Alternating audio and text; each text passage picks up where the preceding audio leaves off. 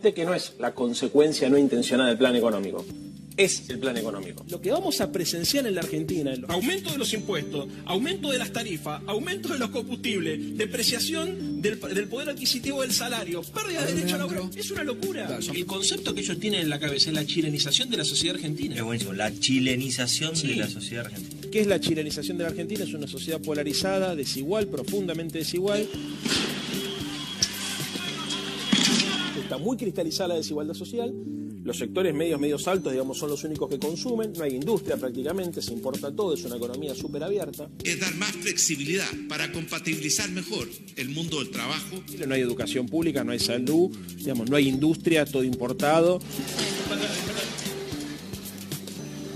Tenemos un país maravilloso que merece ser celebrado. Donde no hay derechos sociales, no hay sindicatos, no hay bienes públicos que estén garantizados por la Constitución, donde si te quebras un dedo tenés que ir al hospital y tenés que pagar para que te atiendan. Los militares comienzan a avanzar armados contra las personas que se estaban manifestando en este punto. Creo que en la cabeza ellos tienen ese modelo.